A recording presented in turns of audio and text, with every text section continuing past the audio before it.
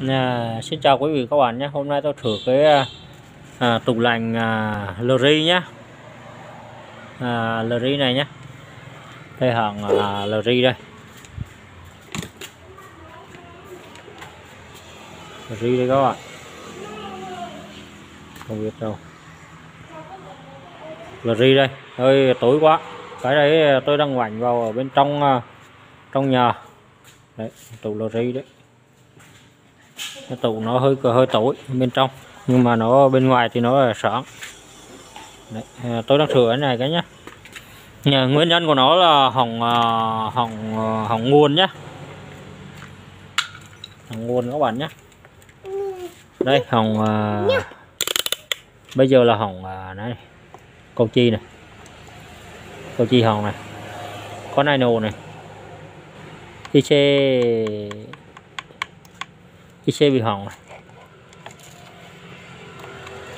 Bây giờ để chúng ta đo và kiểm tra để rút lại IC nhé rút ra kiểm tra IC nhé đây hôm trước thì có thay à, mấy con rồi.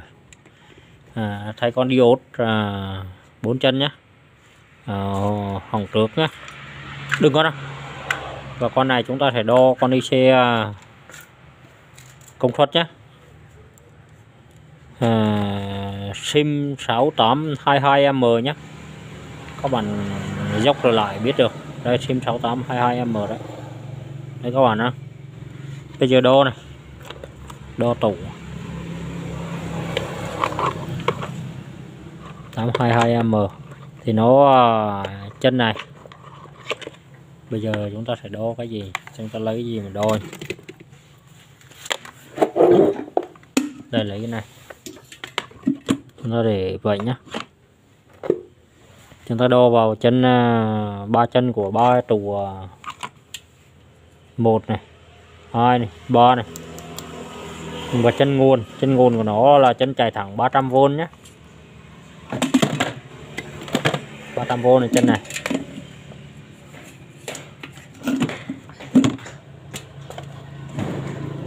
À, tôi bật vào thang nhân một nhé cái thẻ là đầy này. Nhân một nhé bây giờ chúng ta phải đo nhé giờ chân này với à, có cái chân à, chân này với chân mát nhé tụ à, lọc này nhá. Tụ lọc này chụp các bạn này. Chụp này. Chết này. Chân này chết này. Chân này chết này. Nói chung là thông thông thiên cả nhé còn có đường này không thông này tức là ba đường này nếu mà đo một chiều đo quay trở lại không lên là được. Lên nhé đấy đo như vậy. Đây chết này. Còn bên này, này. lên cả nhá con này là chết nhá. Cái xe à, sim 8228 à, này nhá. 6822 này nhá và con IC con này, ấy chết nhá. Thì chúng ta muốn bây giờ rút con này. Thì chúng ta phải cầm rút nhé bây giờ thì à, chúng ta dùng à, mỏ hòn.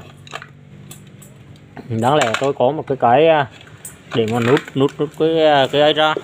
Nhưng bây giờ tôi chưa có.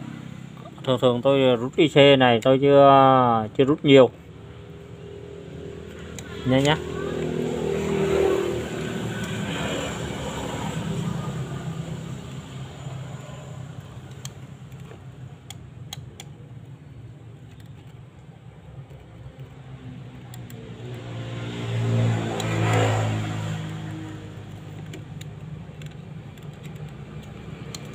nó rút hết cái con này.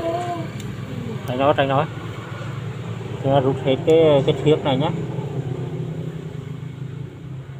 rút con IC này ra nhé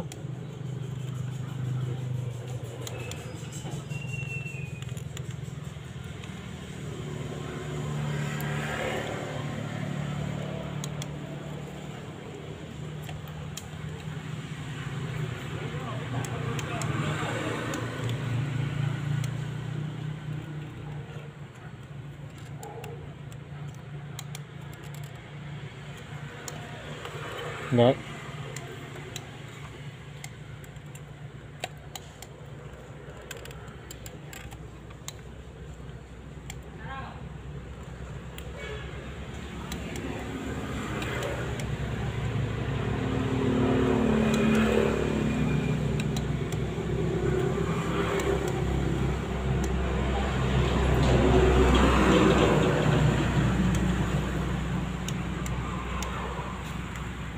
đây chúng ta rút như vậy.